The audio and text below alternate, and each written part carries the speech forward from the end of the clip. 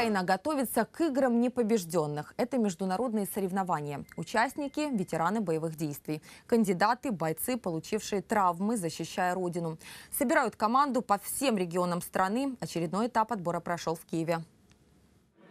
Непобежденные на поле боя снова выходят на битву, теперь на спортивную. Эти бойцы вернулись с передовой, большинство с травмами.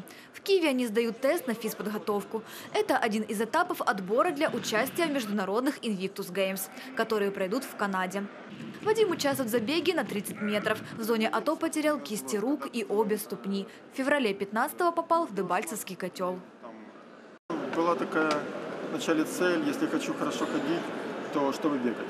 Когда я уже начал бегать, меня американские реабилитологи этому учили, вот, то мне предложили вначале э, тяжело, тренироваться тяжело, чтобы принять участие в марафоне морской пехоты США на 10 километров. В своей категории я был первый, час, час и шесть минут.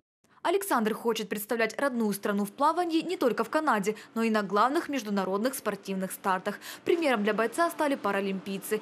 С ними проходил реабилитацию в одном центре после ранения. Александр переехал в вражеский танк.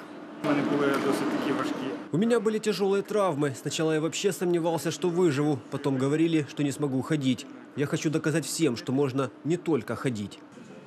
Соревнованиях Украина поборется за первенство в шести направлениях из 12. Атлетике, плавании, стрельбе из лука, велоспорте, гребле на тренажере и пауэрлифтинге. Организаторы допускают также участие в волейболе сидя и экстремальном вождении.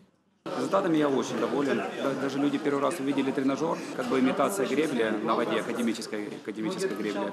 Люди показывают характер, приходят, э, грубо говоря, с протезами и показывают цифры. Неплохие шансы на минуте. Получается, на, на нашей дисциплине минута и 4 минута. На минуте неплохие шансы, а 4 минуты, конечно, надо потренироваться. В первом заплыве был из 50 метров полным стилем за 29 секунд. Это довольно-таки очень приличный результат. Это э, результат разрядника пловца.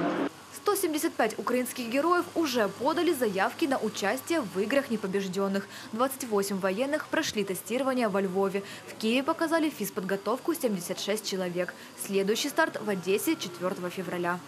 Для всех нас для всех нас это новый опыт и вызов. Но ради того, чтобы видеть мужественные лица тех, кто принял для себя новый вызов, ради того, чтобы видеть вдохновленные лица их семей – мы будем и дальше работать над реализацией этого проекта на этот год. И надеемся, что украинская команда и дальше сможет принимать участие в этих соревнованиях. Эти игры основал принц Уэльский. В 2014 году прошли впервые, потом в 2016 их провели в Орландо, и третьи будут в Торонто. Министерство обороны Украины получило приглашение принять участие. Заветных мест на международные старты всего 15. За них спортсмены будут бороться в марте в финале национального отбора. В июне свои силы попробуют на товарищеской встрече с Эстонией или Грузией. С 23 по 30 сентября украинские герои будут сражаться за первенство в Торонто. Маргарита Харунжа Петр Галка, UATV.